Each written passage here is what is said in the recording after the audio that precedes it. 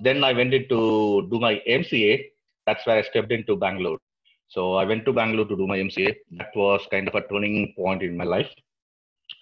The reason is that because uh, do, having done my BSc Computer Science, I have seen whatever topics that I need to learn in MCA curriculum is already something which I was aware of.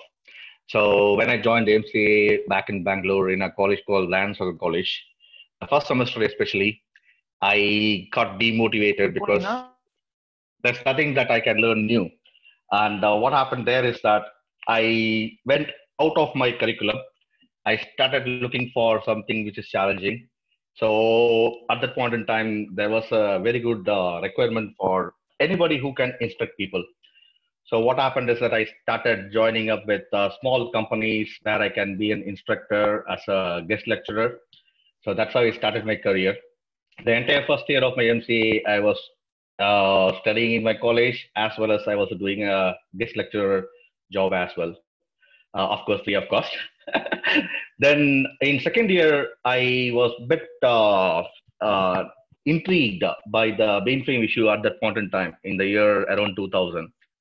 Uh, so because of that, I started looking into mainframe. I learned mainframe, and uh, immediately after learning mainframe, I started working as a freelance uh, contractor for IBM, and uh, that's my first real career. So while I was doing my MCA, I was also working in IBM as a freelance contractor, and uh, immediately after that, I joined uh, Wipro in 2004. And when I joined, I joined as a senior developer in mainframe and uh, immediately after that, I was uh, deputed to US. So there I was working for uh, insurance company called Putnam, and uh, it went around for three years. In 2007, I came down to UK, and uh, I joined as a mainframe and a Java developer, and I started my career as a module lead and progressed slowly and in 2012, I changed my career being a developer into an architect.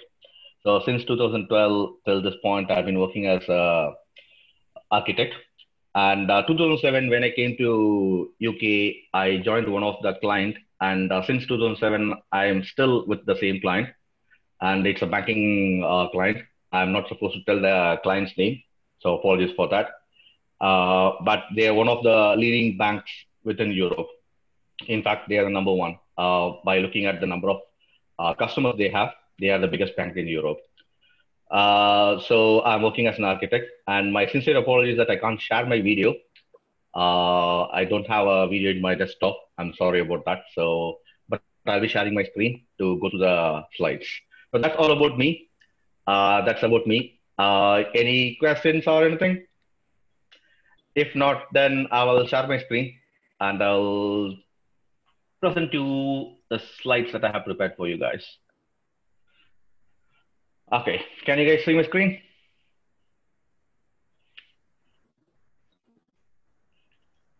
Yes, sir, we could see your screen, sir. It's very clear. Yes, thank you. Thank you, thank you.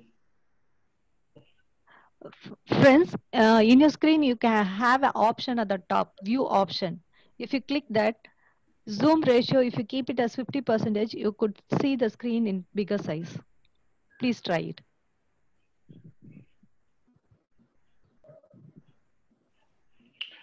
All right. So let's get into microservices. So before we get into microservices, let's take a step back in history. What happened? So as you guys all know that uh, the term Turing machine, uh, that's the first thing that you all would have heard about. The Turing, the term Turing machine came into existence by somewhere by 1920s and 1940s.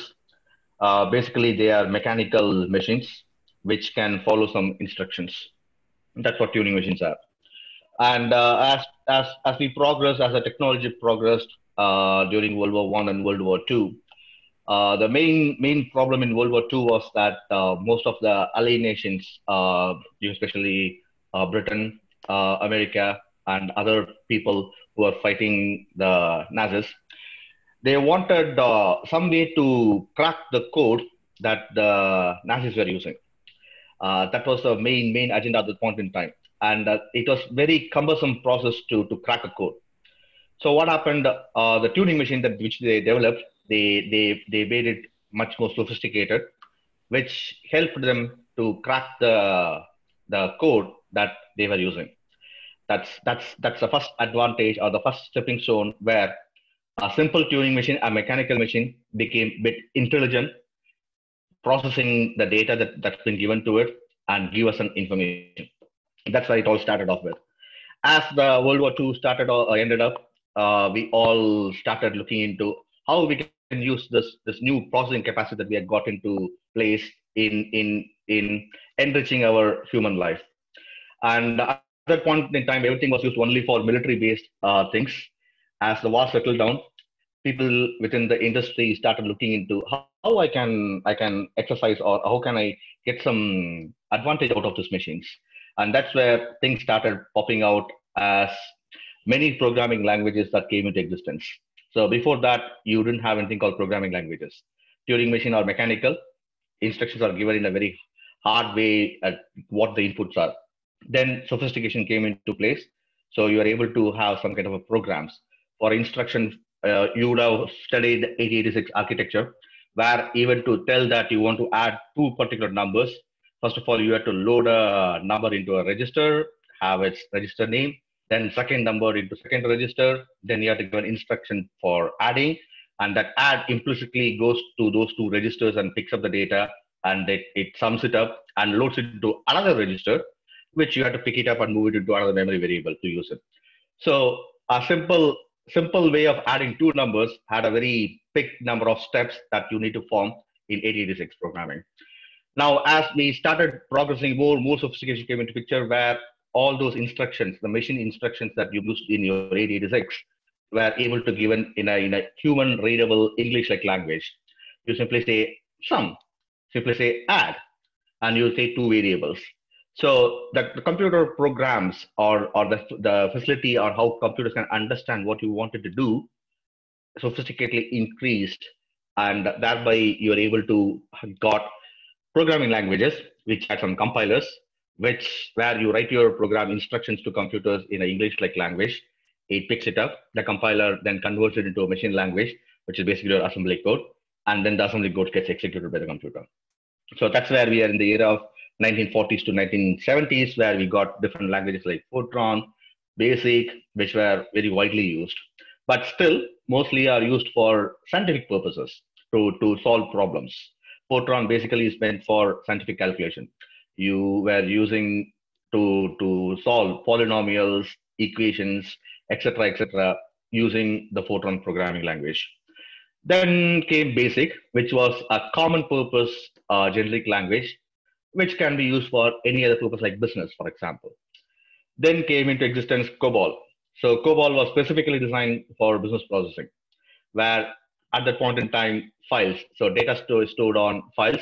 You give the file as an input, you write a big COBOL program, which will open the file, it will process. You'll have also have one more file, which will be the transaction file. You pick the transaction, then you do the accounting calculations or the business logic, and then you write a output file which would be the master file for tomorrow's processing.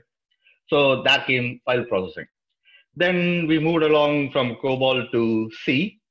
Uh, when C came into existence, oh, C is very more efficient than COBOL because the, the number of code that you were to, to write to solve a problem reduced because C gave you that facility. And uh, with C, start people start using not just for business programming, they also can do system programming. So one single common purpose language which can be used for system programming as well as application programming. Before that, uh, C came into existence. Any business programming, you had to do COBOL. You want to do some mathematical, uh, solving a mathematical problem, then you have to use Fortran. You still want to use some kind of system programming, you still need to go to assembly level. So assembly level programming is what was used to create device drivers in your Windows uh, 3.1 or Windows uh, 2000, Windows 95, I think, uh, etc.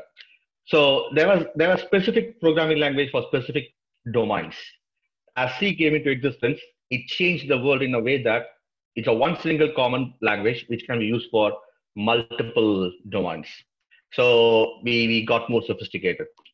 Then came C++ with object-oriented uh, programming where people started looking into, oh, object-oriented programming, how can I use it? So till that point in C, we were trying to give emphasis on just solving a problem. You never took a step back to see, oh, how should I think about reusing this functionality? Functionality reusing was already there as a part of functions, but that functions was, was delimited within the parameters that you can pass with it. So you didn't have anywhere to expand it further.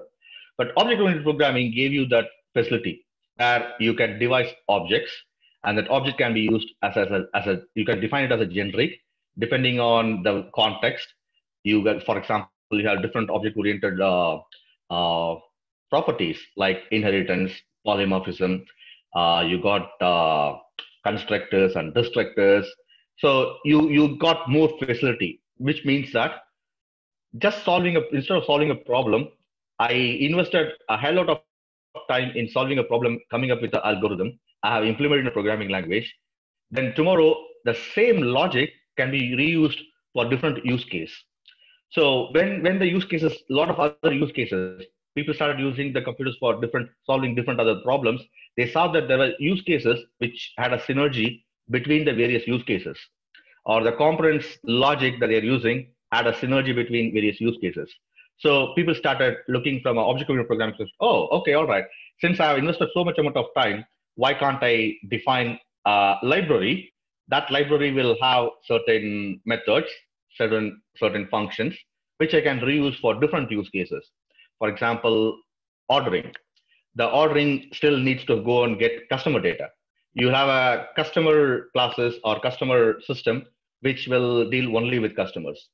So that still needs to go and read and write data to the backend, which is your database. So we moved from file process based processing to database at that point in time when object-oriented programming came into existence. So all file process got got old, it became legacy. Then we went into database. So backend is database.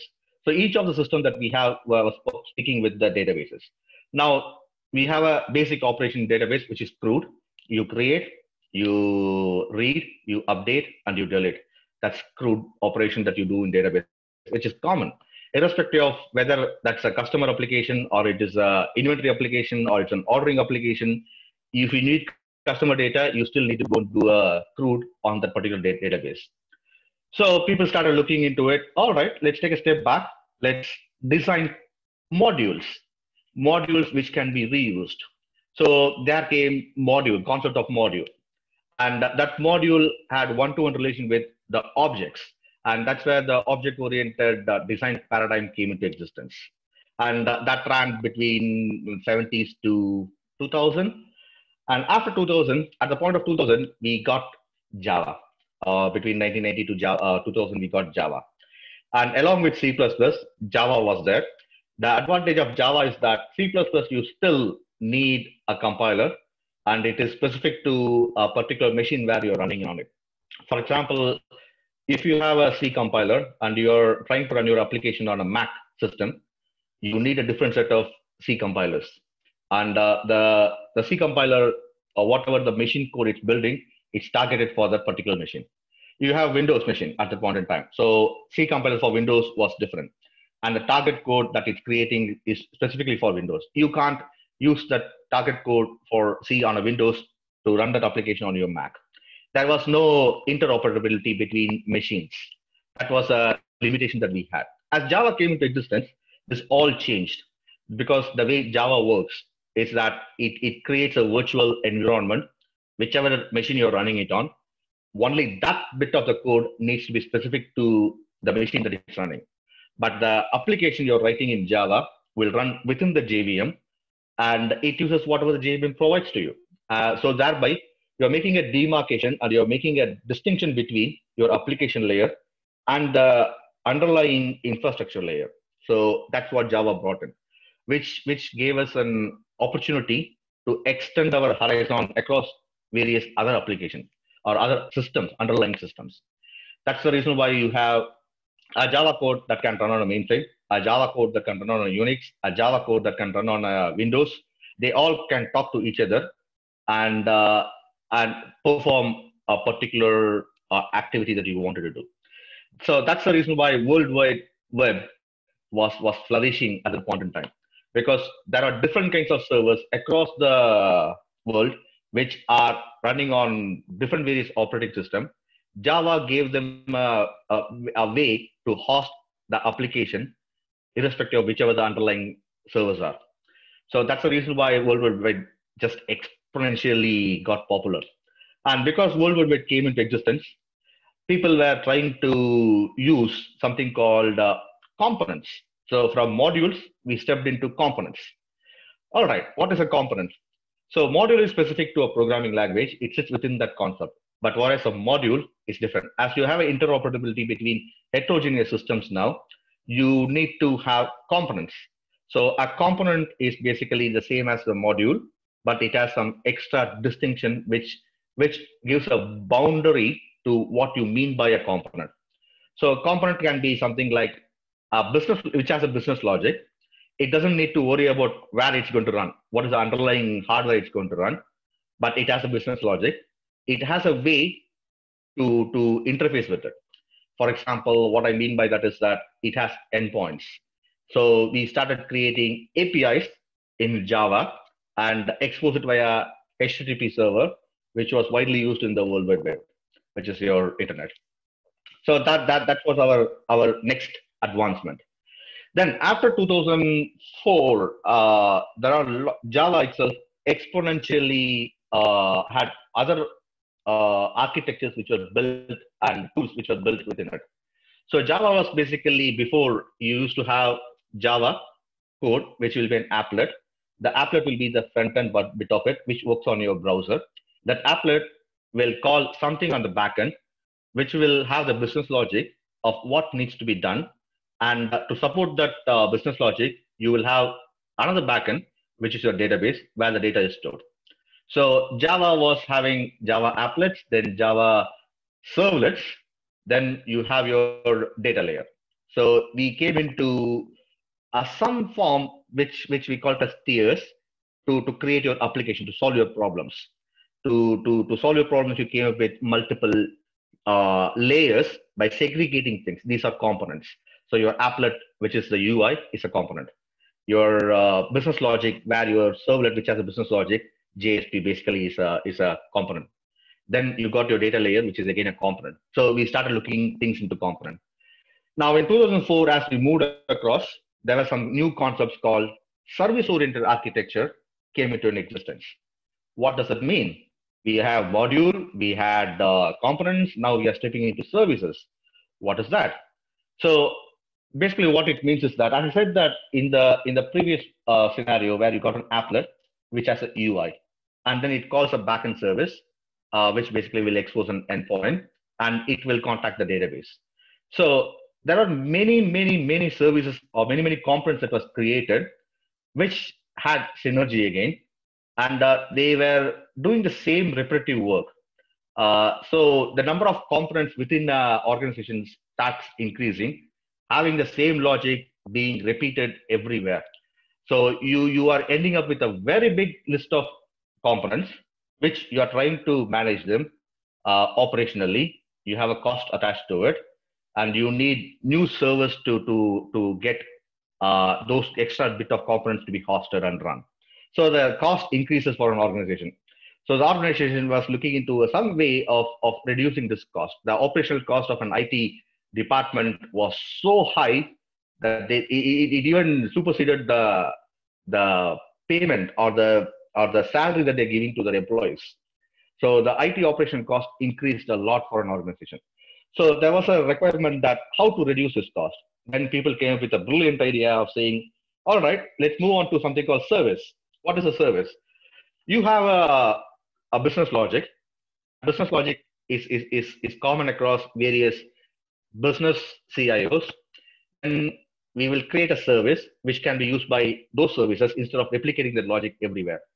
So that's that's where you start getting services. Services uh, you the interface point for the services an endpoint.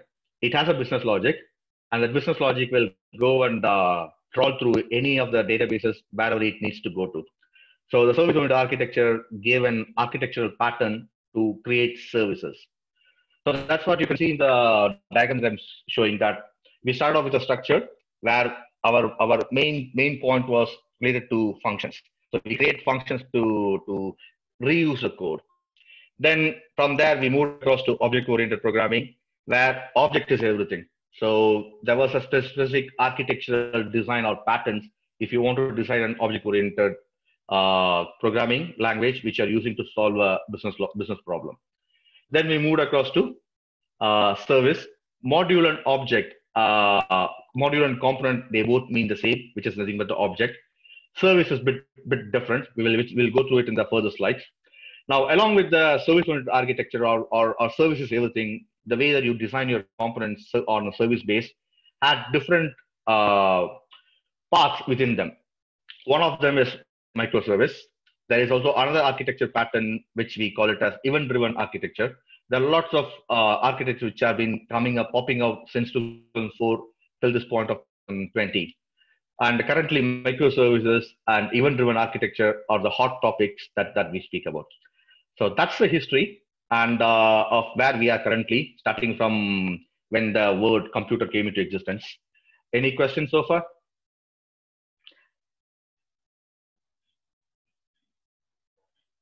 Okay, if there are no questions, then I will go on to the next slide. So whatever we saw in the first slide, I'm just trying to give an illustration. So you can see that on the right-hand side, memory, mnemonics, operand, they basically are assembly code. As you can see, it's basically set of instructions, nothing else. It's just a set of instructions, uh, nothing more to it. It doesn't have uh, any reusability. Uh, that's what that, that, that, that says. Then from there down, if you come, you got the account file, transaction file, then process account. So that's what I was talking about, example of COBOL programming. So that COBOL programming uh, can also be put into a C with what I mentioned over there. So account file, transaction file, update account file. You have one single function, which will basically take the parameters. The parameter can be the file pointer of your whichever file you want to run with, and uh, some parameters of what operation you want to do. Do you want to do a read or do you want to do a write? And uh, after doing a read or write, there should be something where you pass the data to. So that's what the var means. And the main main orchestration layer here is the process implementation class. So in that process implementation class, you will have the entire logic of what I should be doing. First, I need to go and read the account file. Then for that particular account, I trawl through the transaction file of finding all the transactions and get the amount, whether it's a credit or debit. Depending on that, I change my account balances and write it back to my updated account file. Take the next uh, record in the account file, do the processing. So that business logic is implemented in the process implementation class. That's what those two diagrams are. Then came the two-tier uh, uh, architecture, which is basically in the object-oriented world, we were very much aware of it. So at that point in time, we got green screens. Uh, people used to say in the olden days, green screens. Uh, what it means is that you walk into a branch, the the branch employee will basically keep a green big green screen. The green screen will have uh, a form like a structure which will display your account information. So how the how was it working? It was working on a basically a client server architecture. So the machine that they are using is the client. When they do some action, it goes back to the server and does the processing, gets back the data, displays it back on your client machine. So simple, simple architecture, client server architecture. That's where we all started off. Then came the N-tier architecture, where you had a presentation layer, which is basically your browser. That that happened because of the Java. Then you got an application server uh, layer, uh, which basically has the uh, application which has a business logic, which is the JSP layer. Uh, sorry, the Java layer. Uh, then you have your data tier, which is the last layer. So we got three layer architecture, which we say it as an N-tier architecture. Then from N-tier architecture, we came into something called SOA, which is the one that you see over here. So we started looking into services. From services, we went into microservices, and that's where we are currently at. So in, in microservices, we still have monolithic architecture. You also got a microservice architecture. You also got another event-driven architecture, which we'll go through in the next few slides. So this basically gives a flavor of where we are as a part of history. All right, now, why why why are these new architectures like uh, microservices or uh, uh, event-driven architecture? Why are they getting so much of traction? What is it that we are we are basically looking at? Are we reinvent? Are, are we inventing something new here? If we look into it technically speaking, We are not inventing anything new. Everything has been there since 1940, from the point when the new phase of computer was termed. Everything was there from that point. What we are basically doing is we are expanding those concepts, giving new names to it. So the word microservice services is basically service. What is a service? You you you, for example, I have a company and I provide a service, for example, delivering flowers to client. You as a customer come and tell me that I need to send a bouquet to some X person. Then I take the order, do the payment. Then I do a service of picking up that flowers from wherever some whoever the supplier is. Then I go and deliver it to that person. So I provide a service. That's what service is. This has been happening since the uh, era that we all got civilized. There's nothing nothing uh, fancy about service, but you give a new terminology saying that it's a microservice. I've been dealing with service, but that's not going to be helpful for me as an as when I do operation because my profit levels are going down because of the X Y Z reason and uh, the expenditure that I'm having. I want to reduce that such that I can increase my profit. To do that, you need to have your underlying way of doing your business micromanaged. That's what microservice basically says about. That's the guidelines the microservice gives. So that's nothing new that, that what we are seeing now. It's all been existing. We are basically expanding on, on, on top of it, giving a new name to it. That's what's been happening in the last 20 years. For example, big data. We talked about big data. Big data was already existing. It was existing in the terms of data warehouse. Data warehouse is, is, is quite a big database where you put all the data and it is able to manage it. You can mine data out of it. You can establish a pattern out of it. That's what data warehousing was doing. Now, the new terminology of big data came into existence. It's the same thing, but instead of using a very high end, high specialized hardware, you started using a local or a, or a, or a normal man's machine, clumping it together, creating a clustered distributed environment, and you host your data over there and you process it. That's what big data is all about. And big data is mainly specifically currently used only for data science, data analytics part of it, which is exactly what we are doing when data warehouse was there. It's nothing new. We are just adding, we are, we are, we are defining certain roles. We are defining a boundary to it and we are giving a new name, giving a big data. That's what it is. So it's all existing. We are basically redefining them, giving a new name. Now, digital transformation is the main thing that's been happening in the last uh, 10 to 12 years, which has been fueling all these new technologies to come alive or getting redefined from the old ways of doing things. What is a digital transformation? So we need to first of all understand why why this digital transformation is happening. So digital transformation is nothing but basically it's a process. It's a process uh, where you are using the new digital technology which are available to run your business that's what it's, it's all about. What I mean by that. In the olden days, let's take uh, my dad when he when he used to go to wants to take some money, he goes to a bank branch. Then he stands in a very big queue. He writes a, a withdrawal a form.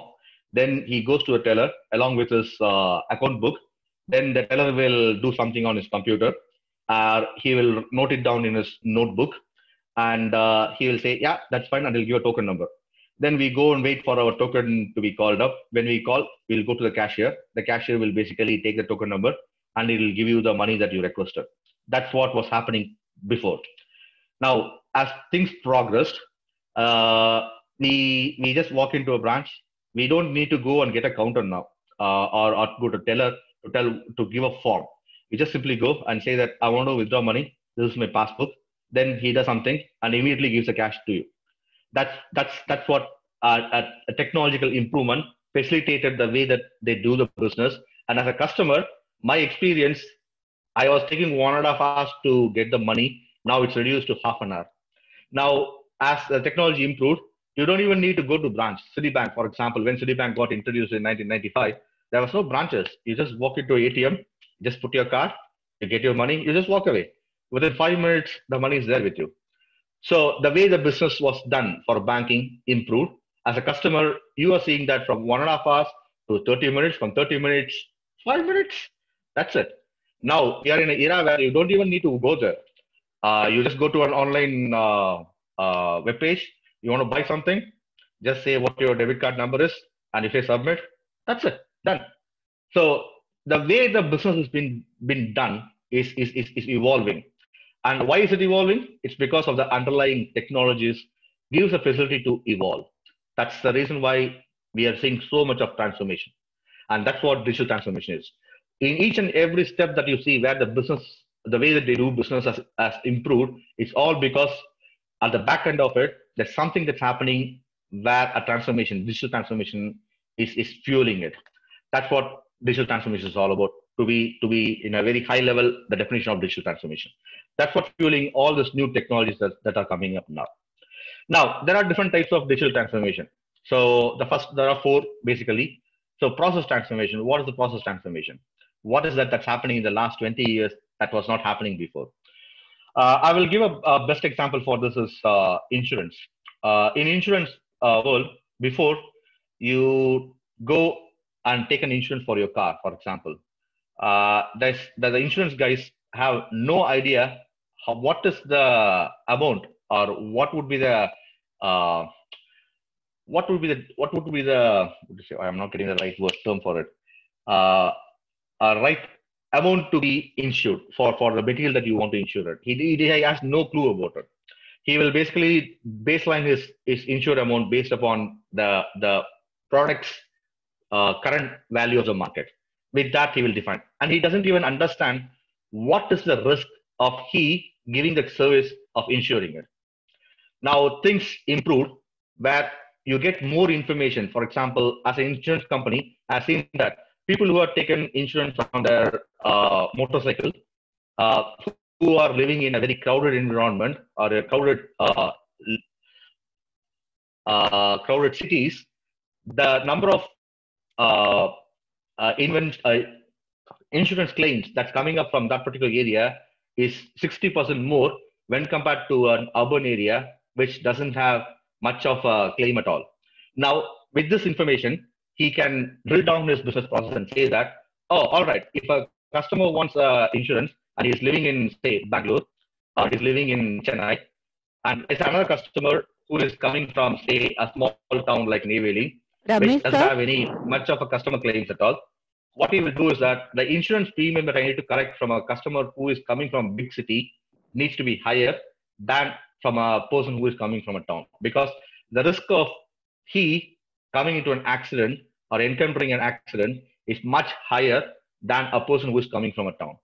So depending on on this data that he has got he can he can do some he has done analytics and he, has, he can find this data a pattern. He can establish a pattern and he can change the way he's doing a business.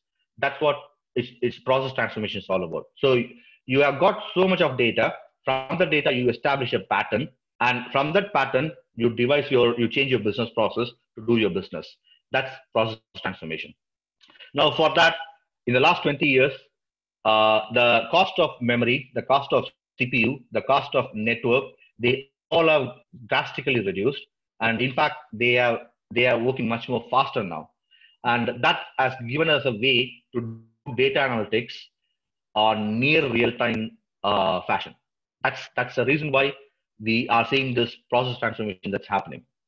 The second one is the business model transformation. Now, as I explained to you in the previous point, because of process transformation, the business gets transformed. Now, one of the another example I can give for business model transformation is that in, in Europe, uh, if you want to deposit a check, you need to physically go to a branch or a machine to deposit a check. And that gets processed within three days. Now, uh, in the Europe, uh, Europe has got a new framework which says that the clearance of a check needs to happen within 24 hours. That's one of the drive that they, they have put forth. Because of that, what has happened now is you don't need to go to a branch to deposit a check. What they do is you take your phone, you take a picture of the phone, uh, of, the, of the check, and you go to your uh, mobile app and upload that check, done. So you don't need to visit a branch and you do not wait for three days to get the money into your account. Now, why is this business business model has changed? It's because underlying technology that they are using has evolved in combination with the way the business model is working is fueling that that that the transformation. Another thing is that open banking. Before I used to have a bank account, say in SBI, and uh, I also have another bank account in Indian Overseas Bank. Now I need to log into their own internet banking to look at this account. What if there was a single application which can give me access to both these accounts in one single app? That would be better for a, for a customer experience. Instead of having two different uh, user IDs, you have to uh, remember two different passwords, logging into two different uh, URLs or sites. Instead of that, one single site which deals with all. So in Europe, there is another initiative that's taken where it's called open banking. So open banking platform. What does it mean by open banking platform? All the banks in Europe, when they, they come together, they said that, all right, we are happy for, uh, for someone to take in charge and access the bank accounts of our customers. And you can use this particular platform to give them the service. That's what open banking is all about. So there are some, some new, new business processes which are coming into, into play which is also fueling the digital transformation. Then domain transformation is the third type. What is the domain transformation? So currently, uh, when you want to run a program, you basically need a, a system which which has a software, which also needs to have an operating system, and uh, you run your uh, application there. Now, in the last few years, you would have heard about something called cloud, cloud computing. It's it's it's also exponentially getting popular now. Why what is this cloud computing all about? So basically in a cloud computing uh, there are machines which are there but they logically uh, component or they contain it or they, they create as a container and they give a service. So there are virtual servers which would be built on top of it. You go and deploy your application on the virtual server now that virtual server again it also has uh, operating system it also has softwares and uh, and the cloud service provider would take care about the operating system patching, the software upgrade from one version to another version. You, as a customer, just simply need to go with your code, just deploy it there. So when I look as, a, as an organization, instead of me creating a big data center, investing a lot of amount of money in, in, in acquiring a mainframe or a mid-range computers or service, and then on top of it, I also have cost to patch the operating system, keep my operating system secure, uh, and also the softwares move from one version to another version. As we move from one version to another version, you usually have dependency on the application layer. I also need to take care about changing my application because the version, underlying software version is changing. So as a, as a, as a company, as a corporate for me, I have a hell lot of cost that I need to incur just to maintain this infrastructure. As I said, at some point, people realize, the corporates realize that the salary that they're paying to their employees was smaller when compared to the cost they're inheriting on maintaining all this infrastructure. So cloud basically gave them a solution where they said that, all right, you don't worry about infrastructure, you don't worry about your patching, you don't worry about your operating system or the software versioning, everything we will take care. You just bring your uh, code, you just put it in there, and it will run and you can expose that, that service to the entire world. So that made the corporates to move away from the way of having a traditional data centers into virtual data centers. So that's the domain transformation that's currently happening. And that is also fueling the digital transformation. Last but not the least, the culture. So before in 1995 to 2004, people who are having a cell phone only only people who are afford to have it will have it. Now that has changed. You you you you have 10000 rupees you just go you can pick up a android mobile and when you have an android mobile you can have mobile apps uh, either a banking app or insurance app or whatever you want to do you can do with it. So people are are are accepting the new technologies which are coming up and they, they started using it so once once a person has a mobile phone he doesn't need to go to bank branch at all. He can do everything what he wants to do with the mobile app. He can even transfer money without even logging into mobile app nowadays. So people are accepting the technology. There's a shift in the way that, that the culture of, of dealing with things is changing. That is also fueling the digital transformation. Uh, most of the time, we don't even see money. For example, if you look at me, I haven't even held a money in my hand for last more than two weeks now. Reason is that I don't need to go out of the house because of COVID 19. We are on a lockdown, but I don't need money. I still can do things what I want to do to build to pay my bills. My my standing orders and the instructions that I have given to my bank will automatically discharge the money that I need to pay to them. If I want to purchase something, I can on the online I can do internet banking and then do a e-commerce transaction, which will do the payment. Or a worst case scenario, if, I, if for urgency I want to go out to a shop, I don't need money because the shop is going to have a point of sale machine where you just swipe your card, enter your PIN, done and dusted. So you don't need to have money in your hand at all. So people are accepting that fact that all right, I can I can deal with my day-to-day life without having money in my hand. So that is also fueling the digital transformation. And uh, on the right hand side, you can see uh, statistics. Before banks, uh, in 2013 to 2014, banks opened 10,269 new branches. Now, 20, 2014 2015, it reduced to 7,557. And in 2015 to 2016, it went to around 6,000 branches. In 2016 and 2017, there are only hardly 500 new branches that opened. In fact, in 2016 2017, the number of branches that's being shut down is increasing because no more people need to walk into a bank's branch to do bank transaction or maintain their accounts. So the culture is, is, is changing. That's what is fueling the digital transformation. That's digital transformation. Now going to microservice, the main thing. So we have understood why this, this the concept of microservice architecture or event-driven architecture is coming to picture. It's all happening because of the digital transformation. That's what is fueling all this. All right. So now, what is a microservice? Uh, before that, is there any questions from anybody, Banu or anybody who is helping me out? I can't see any questions coming out anywhere. Everything is going on clearly, sir. All are waiting for the main topic, microservices. All right. Okay. Thank you. All right then. All right. So microservices. What is a microservice? As I said to you, nothing that we are invent uh, we are we are we are having as a new terminology is new. The it's been already invented.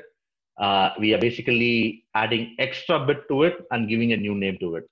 So before microservice came into existence, there was something called service-oriented architecture, which, which popped up in 2004, and it went till 2012. Service-oriented service architecture was the main topic. So in service-oriented architecture, what happens is that let's imagine that I have a system. In system, uh, let's take ordering system. You as a customer come to a web page and you say that I want to order pizza. Now, it's it's it's a single service. I'm basically selling pizza. That's my business. To to do that business, what are the things that I need? First of all, I need to take I need to communicate with the customer. So I need a website. Once the customer comes into my website, I need some way of identifying who that customer is. Uh, so you create, you ask the customer to enroll or register to your, to your site. So by registering, you know that, uh, okay, this particular mail ID, which is unique, you can identify, oh, that's that customer that, that that's logged into my, into my site.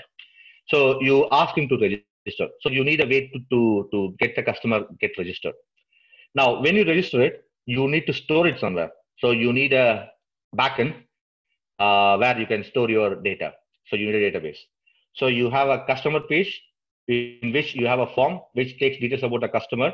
When the customer is given, when he presses submit, it comes down to your backend. In the backend, you probably might do some kind of validation to check whether this customer already uh, existed in your database.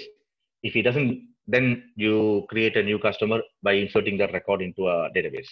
So that's that's the first functionality. So you you get the customer into your site and you identify you have, you have a way of identifying the customer then once the customer has been identified then you can start providing a service so what is the service you are going to show him a menu and say well these are the various pieces that i have in my place which one do you like then the customer can go and browse through that menu so you are giving a facility for him to browse through the service that you're providing which is the various pieces that you are selling then the customer will choose. So you have to give an option for the customer to choose what he wants.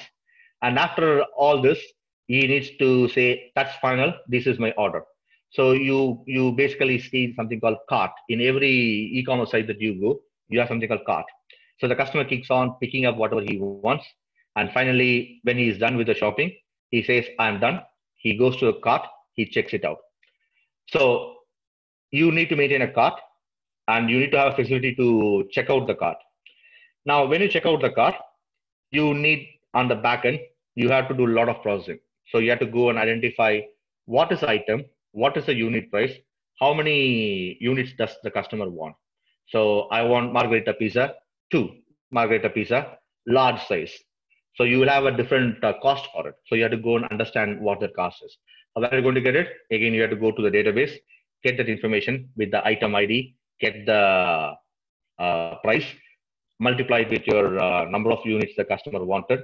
Then you create a subtotal of it and uh, create subtotal for all the items that he has created. Then you create a complete total and say, produce a statement saying that for this is what you have ordered, this is what the cost is, and then you have to include VAT and other taxes on top of it and say this is the total cost. Then the customer will say, all right, fine, proceed. Then you take him to the next page where you need to take a payment from him. Until you take a payment, mm, it's, it's not complete. You as a business, that's what you are interested in. Uh, so you need to have some kind of way to take the money from him. Now, since it's an e-commerce, assuming that he's going to use a PayPal or is going to have a, a debit card or a credit card, then you, from your website, you need to have some kind of interface with those payment services. So if it's a PayPal, PayPal gives some kind of API service which you need to integrate with them to say that this is the customer, this is the customer's uh, PayPal ID, and uh, he is trying to pay this much amount. Can you please take him take the money? So it will go to the PayPal site. PayPal will do the uh, login of the customer. It will take the payment. Once it takes the payment, it knows what is the merchant ID that, that this, this payment is being taken for. Then on the back end of it, which will take asynchronously, that, that, that process is asynchronous. It doesn't happen immediately, but it takes after some time, PayPal will settle the merchant with this amount. And uh, for doing that service, the merchant has to pay some amount of commission to him. This all happens under the hood. But the important point is from your website perspective, you need to have some kind of integration with this payment service. That's PayPal. Now let's take Visa, Visa or your MasterCard, uh, which is basically your credit and debit cards. So whenever that card number is given, you need to go to Visa or Master and say, I got this particular uh, card number and this is the amount that I need to charge to the customer and this is my merchant ID. So you need to send this information to Visa. Visa will take, it will look into the customer uh, 16 digit number. They will do their validation. They will check whether the customer has enough money in his account for which Visa doesn't have that uh, uh, account detail. The customer account detail will be sitting with some banks.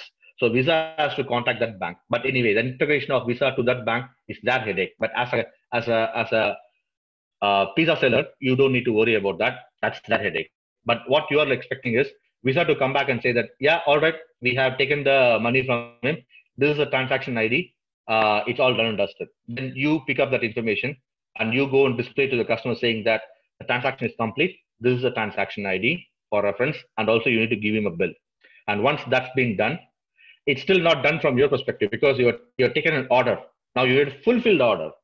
So that needs that order needs to go and sit into an order uh, database.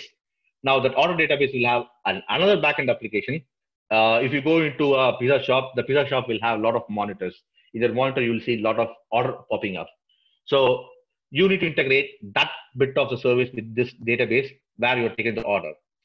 Now that's a separate story altogether, uh, which you will be integrating.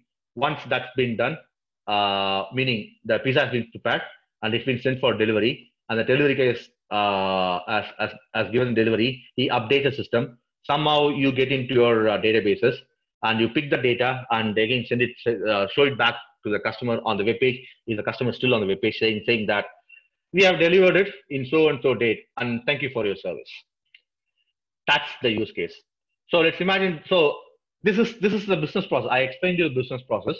I also explained about certain components which are required to fulfill this from your it perspective so you need to build all those things now when the service oriented architecture came into picture the service oriented architecture basically says that you need to identify your services which correlates to your business process and you need to couple decouple them and uh, and and run with it.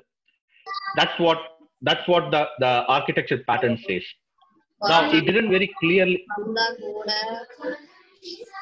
Sorry guys, can you can you go on mute, please? Thank you.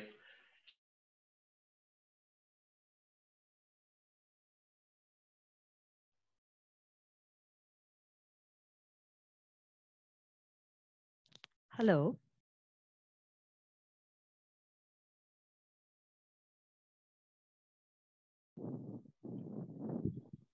Sir, can you please unmute your voice microphone, sir? Yes, I have. Uh, Are you able to hear me? Yes, sir. Yes, sir. All right. Okay, fine. I don't know where I lost you guys, so I will repeat it again. So basically, the service-oriented architecture didn't give a very clear demarcation of what my service should should be. Where should I stop in building my service? It simply said that if you have a common business functionality, then you create a service which will execute that business logic. That's what it said. So without a clear demarcation, people started using that service-oriented architecture. Oh, I can create a service. And they started creating a service. What happened is that they ended up with a, a single service with multiple functionality, and it became very big. And it became a monolithic system. What is a monolithic system? I built a service. That service is not specifically used for solving one problem. It had a lot of other functionality. So, for example, in the picture that I'm showing there,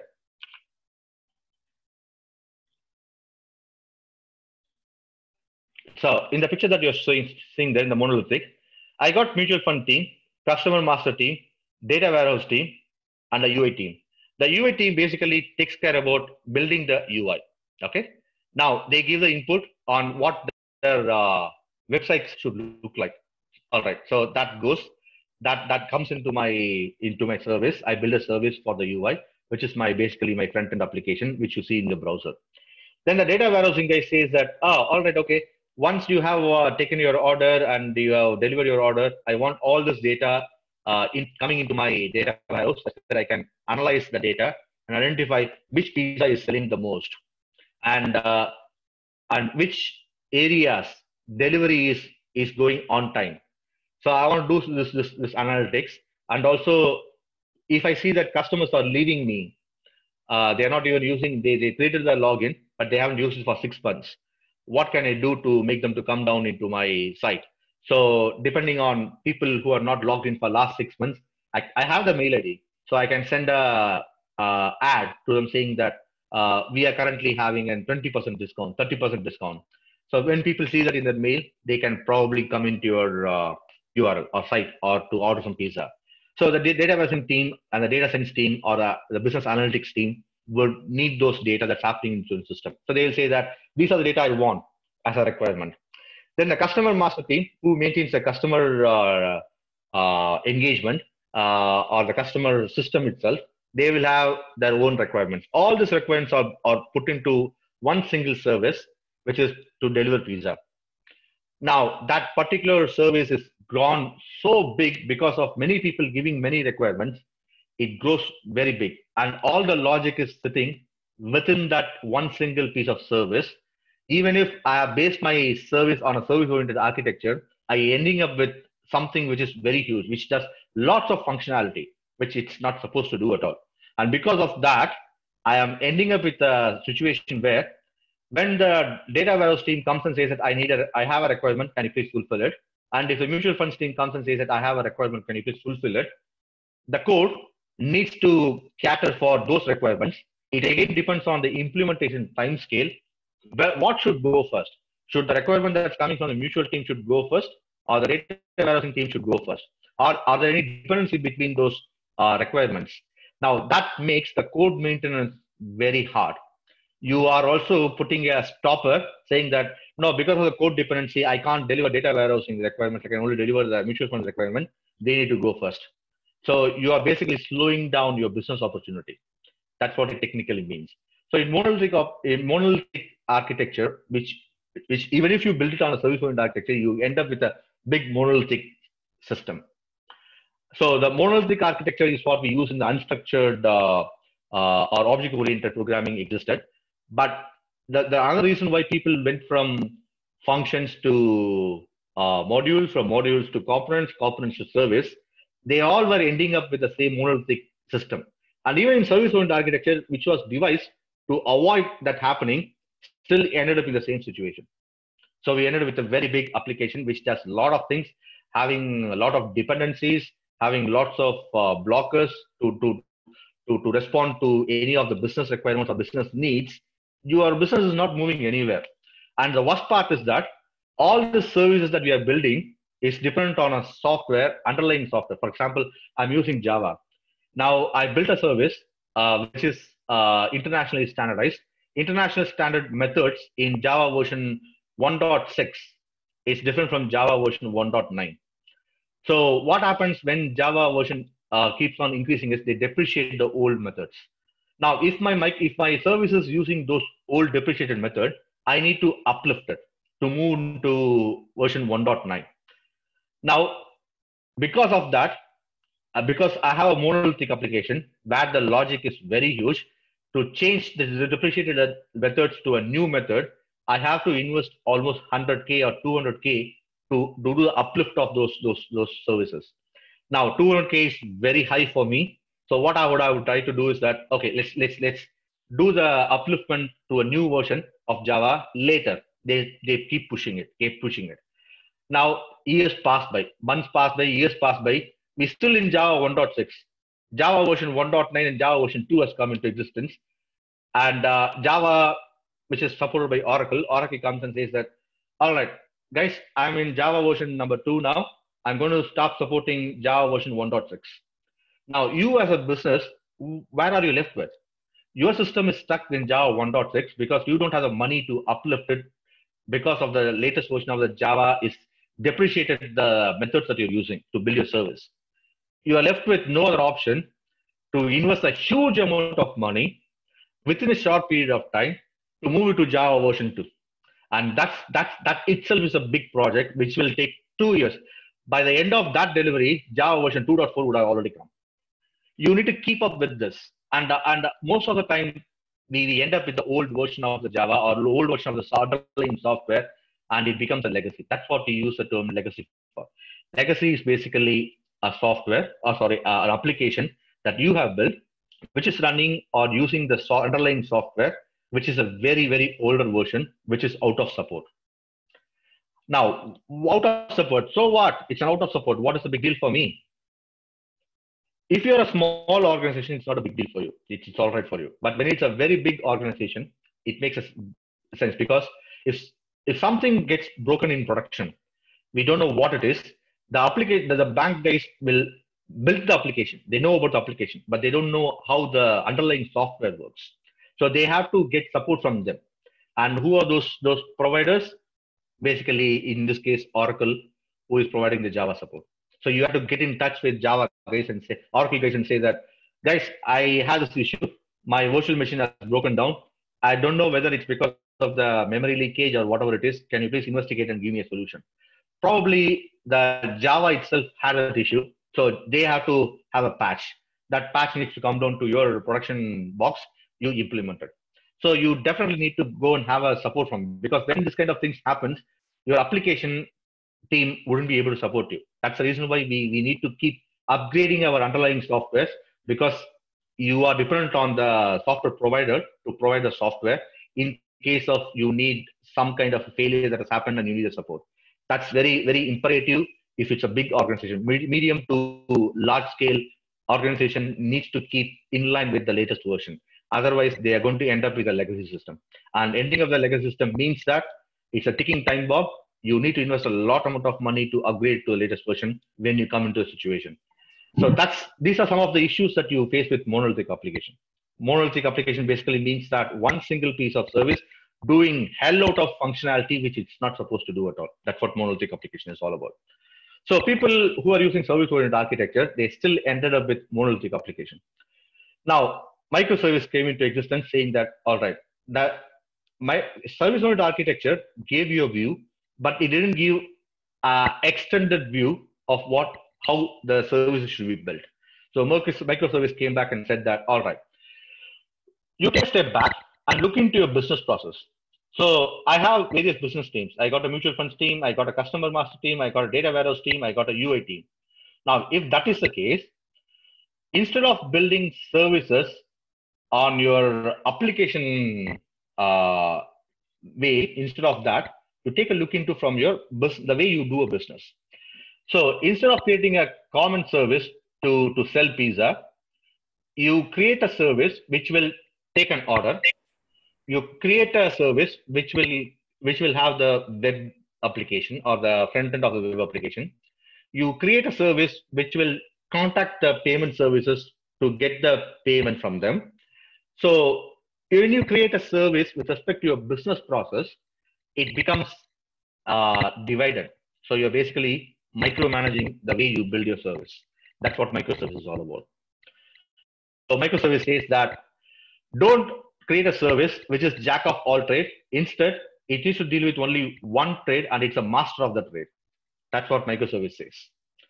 So microservice will, will deal only with taking orders.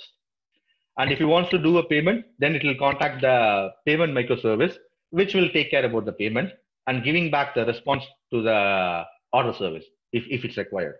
So that's what microservice uh, pattern or, or architecture pattern is. So there are four important patterns that microservice follows. You need to create uh, a high maintainable and testable services. If you don't, you're not able to provide a, a build a highly maintainable and testable. What I mean by highly maintainable. Now, in the microservice world, as I said, if you have a service which deals only with order, now if there's a requirement from from the products team, the products team is basically uh, keeping track of what are the kind of pizzas that I'm selling. Tomorrow they are introducing a new pizza. Now, what this products team can say is, all right, uh, the ordering team, I'm introducing a new pizza. So I'm going to introduce one more new item into the menu. Now, you need to be aware of this.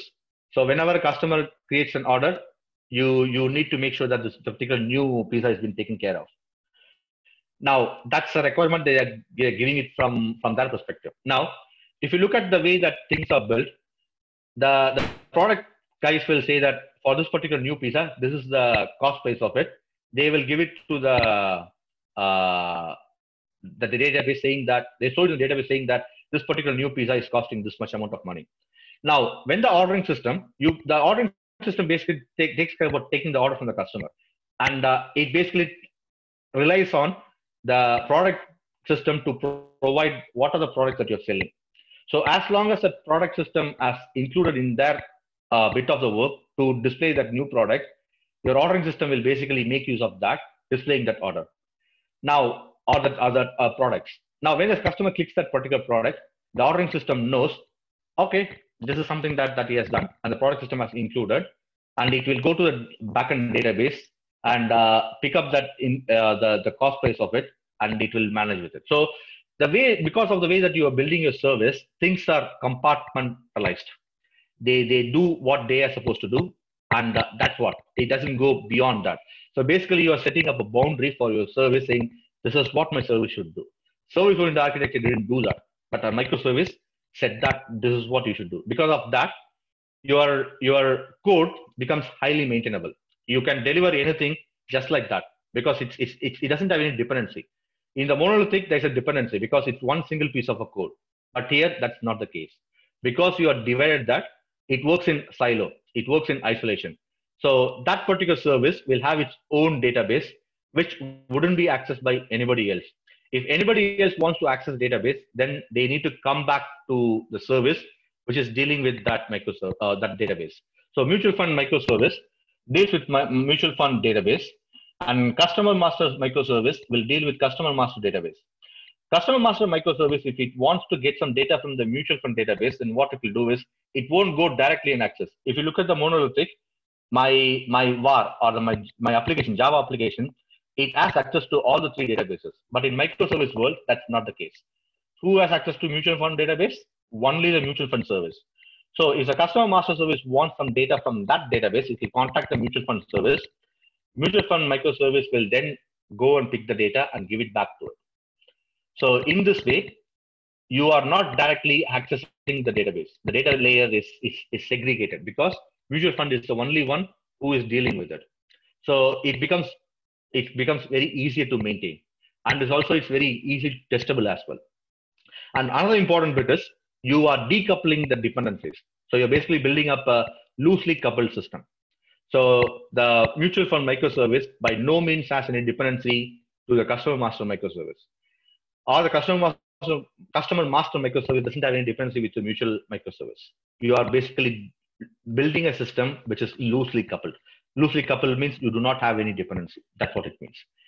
And as you can see, it's independently deployable. So mutual funds team comes with a requirement, then you change your uh, microservice uh, uh, to include that, that, that, that requirement. And you can test that part in silo. It's isolated. So independently, you can also deploy it as well. It doesn't have any dependency. You can basically go in with your uh, changes.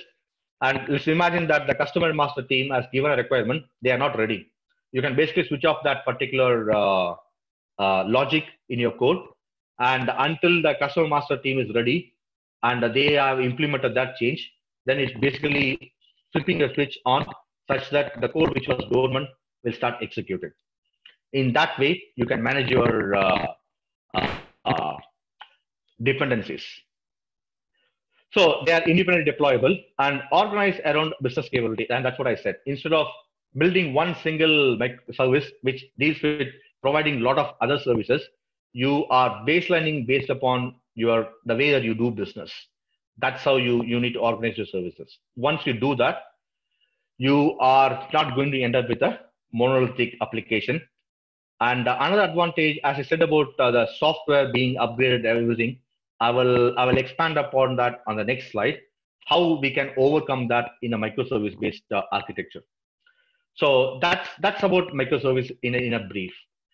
Now, I also want to cover one more aspect about uh, microservice. Along with microservice, there is also another architecture which I was talking about, event-driven architecture. Event-driven architecture also has the same features. It's highly maintainable. It will also end up with a loosely coupled uh, architecture. You can also have an independently deployable services, and it would be organized around business capability. That is something that that might not, but it all depends on how they are building the services. But there is a there is a scope to to fulfill your fourth point as well. Now, at the end of the slide, there are two different uh, uh, pictures which I have put in. So let's take an example of the, the insurance quoting system. So in insurance quoting system, uh, basically what, what it does is that you log into a site. Uh, in that site, you first of all, uh, as I said, log in. It identifies who the customer is. Once you identify who the customer is, the customer has certain information. Where does he live? what is the car that uh, using. So I'm talking about a specifically car insurance uh, quoting system. So you need to maintain the customer where he is living, what is his name, what is his contact number, what is the car that he's been having, and uh, whether he has done uh, gone or experienced any accidents in the last five years. Uh, where does he keep his car parked in the nights? Is it in a separate a private garage or is it uh, on the roadside? this kind of information that the customer management system will, will extract from the customer when he registers for the first time. And it will automatically give a call to uh, insurance quoting system. Now the insurance quoting system will basically pick up the data and depending upon the customer parameters, it will go and identify who are the uh, insurance providers who give insurance to this particular customer category and picks up the quotation from all those insurance providers and it displays it on the screen or it will send out a mail to the customer that, that, that he has registered with. That is a business process. In this business process, you can see that the customer management system basically invokes the insurance quoting. Now, let's imagine a two different use case. The customer actually wants to buy a insurance quoting. So he logs into the system, in which case the existing process of the customer management system giving a call to insurance quoting system is absolutely fine. But let's imagine another use case where the customer has changed his address. He moved from Cuddalore to Pondicherry. He wants to go and update the customer management system uh, basically. So he has logged in, he's updating the system. Now, the customer management system needs to understand, okay, it's a, it's a, it's a generic customer change, a customer information change. Now, is that mean that because of the change, should I call the insurance quoting system now or not? It's a basically just a customer address change. If it's a customer address change, should I call the, the quoting system or not? It's, it's something that it wouldn't know. What it would do is because we are coded to always uh, call the quoting system, even if you change a address, it will introduce introduce a code to the quoting system. Now, the customer doesn't even want that. Customer's main uh, use case is to go and update the address. That's it. He doesn't want to buy a insurance. In that way, in, in that in the particular use case, basically you are wasting your uh, resources by giving a call to a quotation system. The quotation system going and getting the quotation from various insurance providers and then sending out a mail to the customer. That's unwanted processing. Now, to, to, to, to solve this issue, what we will do is, all right, my business logic is that if a customer logs in and if he changes the address, because the address at which the customer leaves has an impact to the insurance premium, you need to induce a insurance code. If it is only, if it is, sorry, can you guys go on mute? Others who doesn't talk, please. Thank you. Now, if it's not address change, instead, I'm just logging in just to see what the information that I've given. In that scenario, the customer hasn't done any changes to his customer data. At that point in time, do not invoke the quoting, quoting system. So I'm changing my business logic now.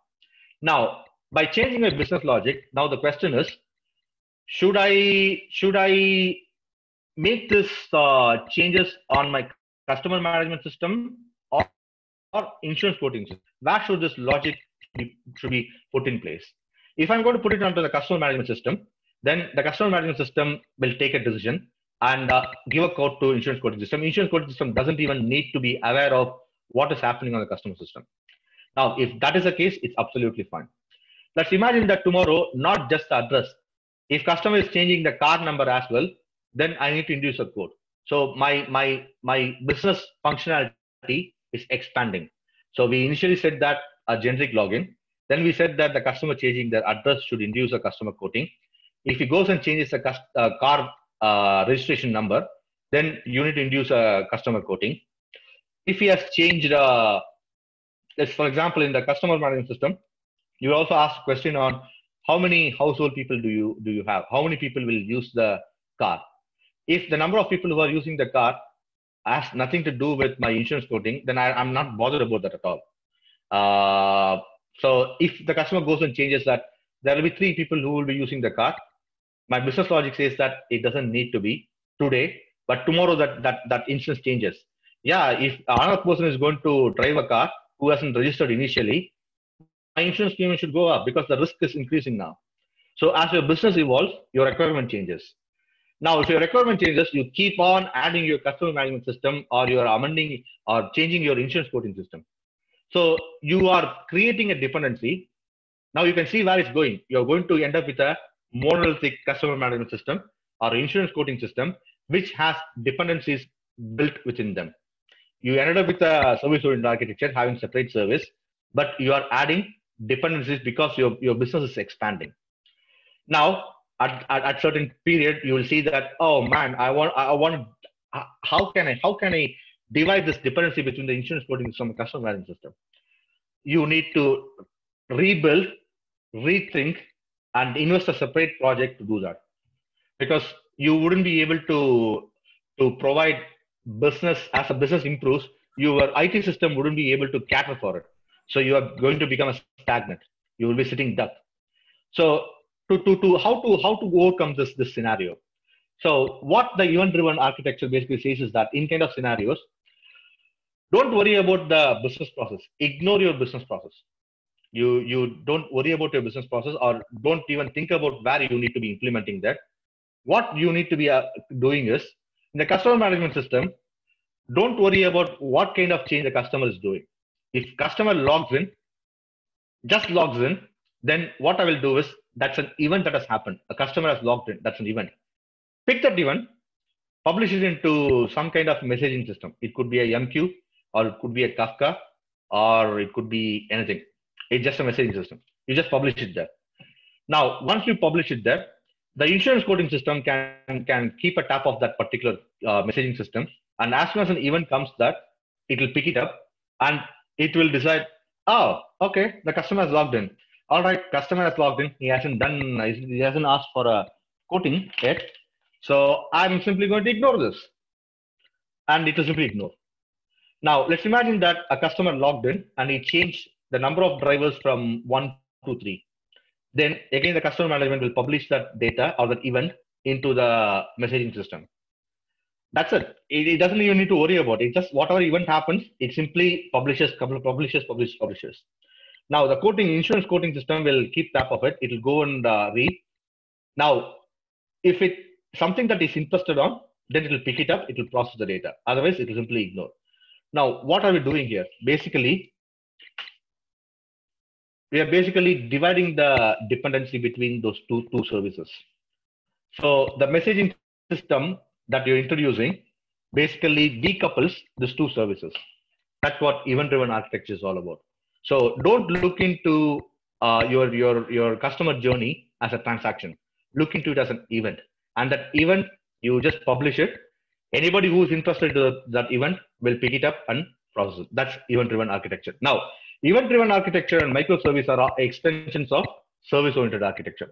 So service-oriented architecture, every, if, if you talk with some IT people, they will say that, oh, service-oriented architecture is dead. No, it's still not dead. Service-oriented architecture is still alive. In an in, service-oriented architecture aligns to an enterprise uh, pattern, but your microservices and event-driven architecture are to build your IT system. So it, it differs. And the service-oriented architecture as an extension to it, which is nothing but the microservices and event-driven architecture. So that's that's the, the funda about microservices and what and all other things are. I know that it's already too late, uh, but I just want to cover up one final thing before we move on. Now, to use your microservices, you need to be your system. The, re, the entire reason why you are bringing up microservices because you want your system to be agile. What do you mean agile? As my business grows up, business requirement, new business requirement comes up, I need to deliver that functionality very fast. I want to keep moving fast, fast, fast. Everybody wants to move fast. Uh, before the cars used to go at uh, 60 miles per hour. Now people want cars which goes at 200 miles per hour. Even if you look at the bullet, so trains usually go at 60 miles per hour. Bullet trains, 200 miles per hour. People want to go faster. So the way the business is also run, they also need to go faster. So that is the expectation from business. To, to fuel that, even if you have your microservice architecture in place, to deliver that microservice architecture, the important aspect is you need something, some way of delivering that code in a very fast phase. So before we used to use waterfall model. Waterfall model is what it follows a SDLC pattern where you have a separate uh, requirements gathering phase, then you have a design phase, then you have a build phase, then you have a test phase, this all were happening around three months, three months, three months. So to deliver a project will take almost an year. That's what happens in waterfall. But now people are moving from waterfall model to agile model. Agile model, you move things in much more faster phase. So in agile, you usually that the time period is two two weeks for a sprint.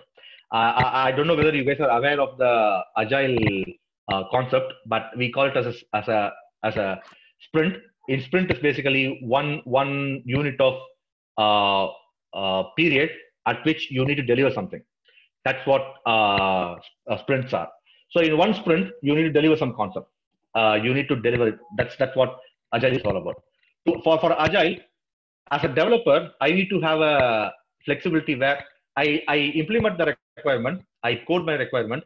I want a fast way of deploying and test it out if that facility is not there, your microservice is not going to be helpful at all, or uh, it, it, it it doesn't doesn't help you to deliver the business expectation, fulfill the business expectation. So there's something called CI/CD pipeline. So you would have heard about a concept called CI/CD, continuous integration and continuous deployment or delivery, continuous delivery, CI/CD. So organizations are currently building up uh, uh, building up some kind of a pipeline where a code build, test, and deployment can happen in a very short period of time. Because most of the activities that you do in your uh, build, build is manual. Uh, when we build is that uh, coding your code is manual, but compilation of that code testing that code, deploying that code into production. This all are automated process, or, or these can be automated process. This all can be automated process. So what happens is that as a developer, I go do a code change. I commit into my version control system. Once I, I commit into my version control system, there will be something that would pick up that new checked in code and it'll start the build. Build is basically compiling your uh, uh, code. So two and three, triggering the build is basically commit process. And the build is basically compiling your code, creating the executables. Then you need to notify whoever uh, started the build, saying that the build has gone successful or there are any errors. If there are any errors, then the developer can go and look into it and fix it. If there's nothing, then it moves on to the next one, which is run test. So in the run test, uh, there are a lot of testing. So you got black box testing, white box testing. Uh, white box testing, you weren't able to automate it before, but because of the new tools that we have got, so there is a framework called Cucumber. There's a new kind of uh, testing strategy called behavioral uh, testing. So behavioral testing basically means that you understand how your code works, and uh, with that you can create test cases in an automated way and also execute them and also check the output whether it is right or not. So there's something called BDD testing that's that's coming up. That's that's one of the testing uh, framework which is coming up. For doing that, the Cucumber framework, which is a software technology which is aiding them. So this all can be automated nowadays. So white box testing can be automated. Black box testing was already automated. That's the reason why you got something called JUnit. You would have heard about something called JUnit in Java, where you create a Java, the, the, the developer doesn't even need to create test cases. He simply puts it into the JUnit and he executes the JUnit. JUnit automatically creates the black box test cases and it comes back and says whether it's successful or not. So the black box testing automation existed since 2004. White box testing doesn't exist, but now they are existing. So black box testing and white box testing both can be automated. So I can put it inside my pipeline which can automatically trigger the build, which can create the executable, which can also notify the uh, person who has initiated the build, and also it can run test in a matter of few hours. It used to take almost three months before to do a white box testing when people are doing it manually. Because it's automated, that's reduced to half a day now. So if you put it into pipeline, the pipeline will automatically do your white box testing as well. And then it will notify the test outcome by uploading the report of those uh, test cases into a SharePoint. And then once that's all been done and dusted, you can also target it to an environment. So you have executable, the executable can go to test environment or production environment. Now, once you have decided that, uh, depending on your configuration, the deployment will automatically happen. Everything is automated nowadays. So for, for that automated process, we call it as a CI/CD pipeline where all there are various tools. So number one, commit changes. So as I've given here, sorry, you use Git. Git is a version control system that most of the people use. As soon as you check the code inside the version control, Jenkins is a, one of the tool which will trigger and do the build for you. So it, it can automatically, it will keep track of if any new code is coming into the version control. As soon as it sees that, it will automatically pick. It will identify whether it's uh, what framework within Java. So Java has a lot of framework. You got something called Node.js, you got something called React, you have something called Spring. You got a lot of framework. It will identify what what framework of Java they are using, and it will automatically invoke the respective uh, compilation configuration, and it will create the executable. Then once that executable uh, is so the Maven is another tool which will basically do the build it it maven as uh, it's not only a building tool it also resorts the dependencies what do you mean by dependencies. In my java code i can use different libraries. Now the same library can have multiple methods. So somebody has to resort the dependencies. Maven automatically resolve those dependencies. It knows which libraries i need to extract or download the data from such that my source code can start using it. So maven basically uh, resolves the dependencies of the uh, required libraries and it also starts the build. And uh, once the build has been completed, the output of that build, we have something called like HipChat. HipChat is like a chat tool which we use within an organization. It's it's an enterprise chat tool. In it's integrated with uh, it's very easy to integrate with Maven. So Maven will say somebody has started executing this particular build, uh, building this uh, component. The output of this component is this. It'll it'll give it to everybody. Whoever is interested can look into it. So it it collaborates with the organization. Along with that, it also gives information of your build output. It's all automated. And then testing. Automatically from that, it goes to testing. We have something called Veracode, SAP, PAC. These are various tools that we currently use. Veracode basically can do uh, uh, testing for your uh, static application security testing. So security is very important. You when when you when you study things in your colleges, you never encounter security as a big big thing. But when it comes to organization, security is as a very big pillar. You you will come to know about it, and there's no way that you can learn that because the security depends on the environment at which you're working on and that environment you wouldn't be able to give it in any of your uh, uh, uh, centers where you go and learn java or uh, big data they don't have that that, that that that that facility because setting up a security is, is again a very big cost incurred on the infrastructure level. So people don't do that. So you when you go and try to learn a technology you will never get introduced to security aspects of it. Only when you get a job and uh, come inside a organization and start working in an organization you come into security. So security is very is a paramount uh, importance for any organization so you, as a part of the pipeline we also do security testing as well which can be automated nowadays. So there's some uh, tool called Veracode, which will do a static application security testing. And you also got something called zap which will do a dynamic application security testing. And it will automatically upload this output of those tests into a sharepoint. Uh, sharepoint is something like within an organization uh, you, you got confluence. I, I think i don't know, I think you guys have heard about confluence jira. These are some of the tools uh, where as an organization you publish something it will be accessible to anybody within the organization. So that's that's a portal basically. So it it, it, it, gives us uploads this report into the portal so anybody can go and look into it. And uh, we also got uh, ansible and chef which takes care about the configuration. Once the code has been built you have something called route to live route to live tells you start with your development environment. Once the development environment has been done you put it into a test environment this test environment will be called as a component test environment where you test your components and also do a um, contract testing. So contract testing basically means that integration points are tested out. Uh, that that contract defines the integration point. What are the rules of that that integration? So you do a contract testing. Once that's been done, you move the code into a SIT system integration testing. That's where all other integration systems will be available, and you'll start doing the system integration testing. After system integration testing, it goes to a non-functional test environment where purely you test only the non-functional aspects of your system. What is the latency? How many seconds i'm taking to process this requirement or this request when the request comes in? All this kind of testing is done. Once that's been done only when all this testing has been signed off we finally go into deploying into production. So if you look into the code the code goes from uh, unit testing to system testing from system testing to system integration testing then to non-functional testing then to production so there's a way it follows so the configuration management will understand where is this, this deployment started from, which environment, such that it knows what is the next higher environment where it has to do the deployment. So it's all automated over there as well. So the CI/CD pipeline, that's what the DevOps currently do. So you would have heard about a hot subject topic called DevOps.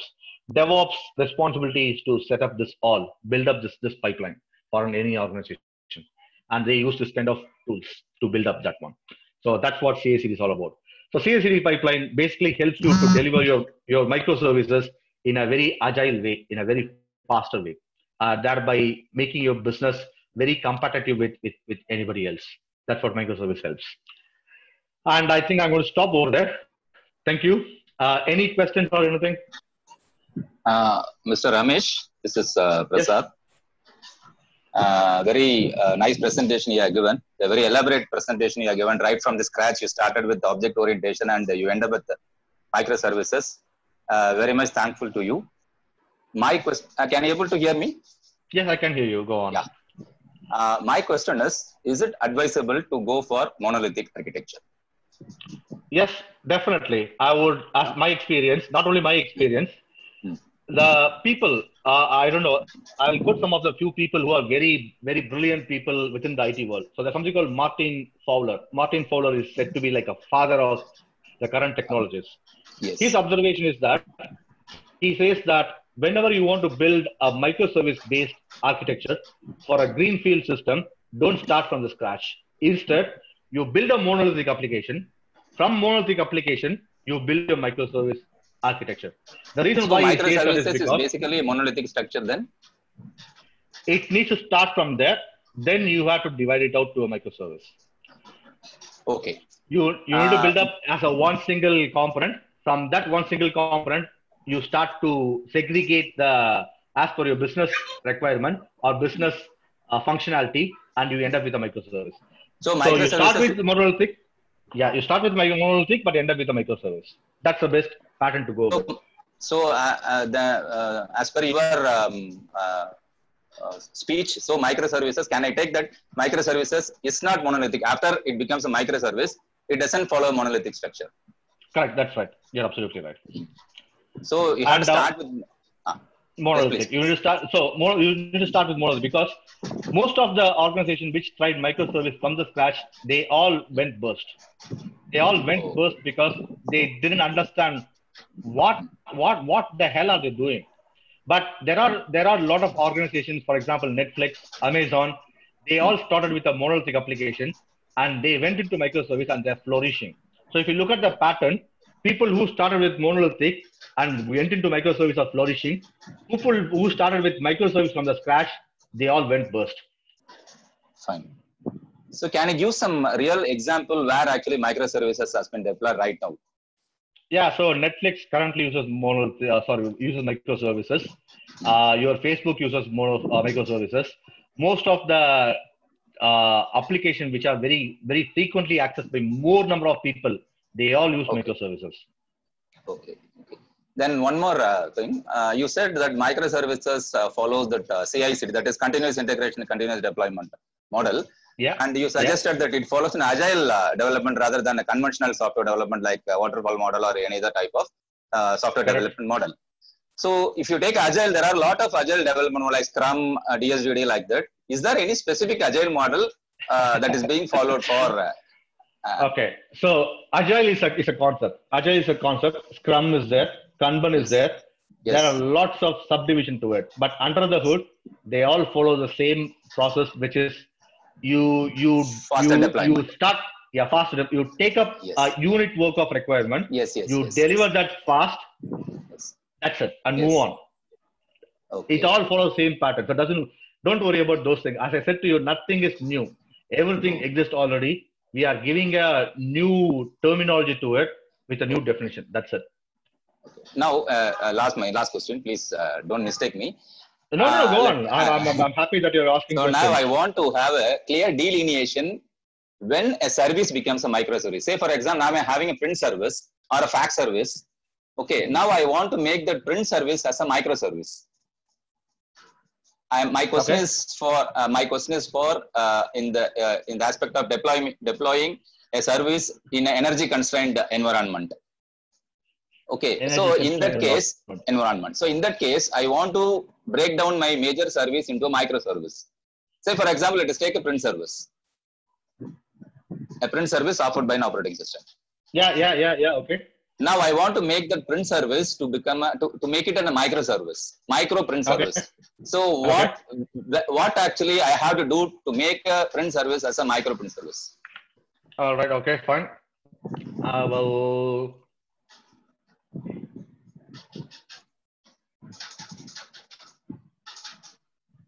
Can I see my screen? Yes, yes, I can see. it. Okay. All right then. So. uh,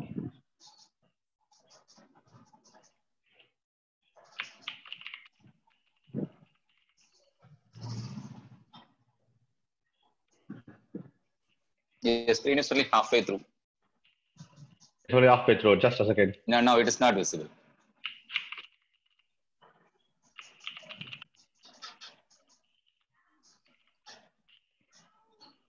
You are typing something.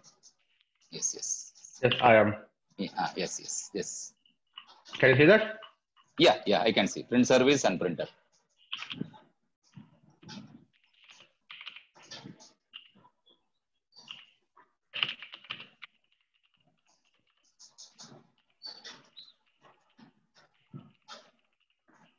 This is what you want. This is what you currently have. If you no, want to actually, do it as a Microsoft, uh, yes, yes, please continue. Please continue. so this is what you currently have, I'm assuming. And you, what you want to do is you want to do change it to a microservice. What I would do is Hmm.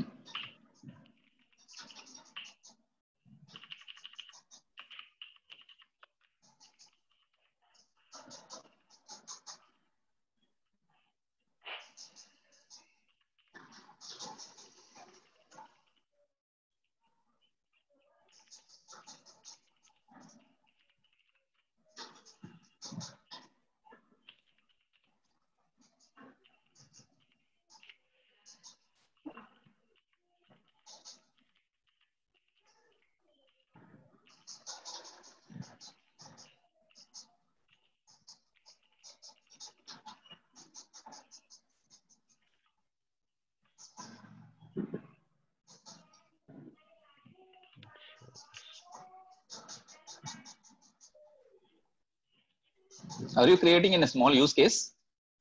Yes, I am. So, Hmm. so print service is being currently going to the printer uh, or it gives the data. Now, Okay. let's imagine that instead of that, I want a print service called print service from Word. Hmm. Okay. And uh, I also going to increase this to say print service from the notepad. I want to use this Okay. for, for two different people Hmm. as note so uh, from keyboard keyboard and I'll say it as the notepad Okay. Okay. then I will do is pwrd to the message and I will also say p notepad to Message. message. So now what happens? There was a hard difference between your print service and printer. If I want Yes. to change this print service to something else, I need to amend that component or that service. Now Okay. instead of that, whatever you want to have, you this is this this top layer that you see the second diagram is Hmm. published into a Kafka topic or a message, and the printer takes the data from there. You're basically Okay. taking off that dependency. So here, that that that that I can also have uh, introduced one more layer between on the top of the Kafka saying a service, and that service will be consumed by Word and Notepad, which you call it in. Okay. Now, if I want to do some sort of formatting, uh, can I introduce that formatting as a business layer in between these two? Yeah, of course. Why not? Why not? Why not? You can. Then uh, from your uh, from your code, I can understand. I, uh, I want to know whether I am right or wrong. Uh, so this prints this microservice enables me to uh, get a printout only from a Word or a Notepad. In case if I am going to, uh, this is how I can understand your code. So what I will do is instead of start from message, it will go to my micro, my micro, and it will be my micro. Hmm. What is it, my micro? Is it a variable? Micro is a, it's a new microservice. So microservice code, a new microservice, an interesting new microservice. Okay. So my Word and uh, Notepad will publish the data into a Kafka topic. From the Kafka Okay. topic, I will have a microservice as a consumer. That will pick up the data and Hmm. it will contact the printer. So tomorrow I want to start using the PowerPoint. The Hmm. PowerPoint will also publish into the Kafka topic. My microservice fine, doesn't fine. code need doesn't Hmm. need to change at all. fine, fine, fine. Okay, okay. Thank you, thank you, thank you, thank you for Uh, explanation. Thank you, Mr. Ramesh. Thank you for your questions. Much appreciated. Thank you. Thank Any other any other questions? Thank you, sir. Thank you, Ramesh, sir, and thank you, Prasad, sir, for your uh, very clear and crystal clear answers and uh, very valuable questions. Thank you, sir. Now I call upon Sita ma'am for oath of thanks. Good evening to one and all gathered here. Um, thank you is the best prayer that anyone could say. Thank you expresses extreme gratitude, humility, and understanding. First of all, I would like to thank our Vice Chairman, Sri Parni Raja sir, for his constant support and motivation. Thank you, sir. I would like to thank our principal, Dr. J. Sukumar sir, as he has been our role model in all means. Thank you, sir. Most importantly, a great thanks to our speaker, Ramesh Babu sir, software architect, London, for his, for his enlightening presentation on microservices. Your explanation specifically on digital transformation and conversion of service to microservice was awesome, sir. We are all privileged to gain knowledge from you this evening, sir. Thank you so much, sir, for your time. Thanks to Kumar, sir, uh, Head Department of Commerce and Coordinator of IQAC. Thanks to all the participants, HOD, staffs, and students of Saradha Gangadharan College and other colleges, without whom this seminar wouldn't have become so successful. Last but not the least, a big thanks to God Almighty for His gracious presence. Thank you, one and all. Thank you. Thank you. Thank you so much for this opportunity. And uh, my special thanks to Mr. Swaminathan and Mr. Parlinaj and uh, Mr. Sugumar and also to Jenu. Thank you so much for this opportunity. Thank you, Ramesh sir. Participants kindly fill the feedback form that has been posted in the chat room as well as in the YouTube chat room so that you could get the certificates as early as, as possible. Please fill the feedback form. Thank you, thank you, participant. Thank you, Ramesh sir, and one and all. Ramesha, this is Jeno madam. Thank you, sir. Thank you very much for spending your time with us. Thank you, No, sir. it's my it's my pleasure, Jeno madam. Thank you. Thank you so much. Thank you. Your support is very All the best. us, sir. Thank you. Thank you so much, sir. Cheers. Thank you then. Bye. Thank you. Thank you.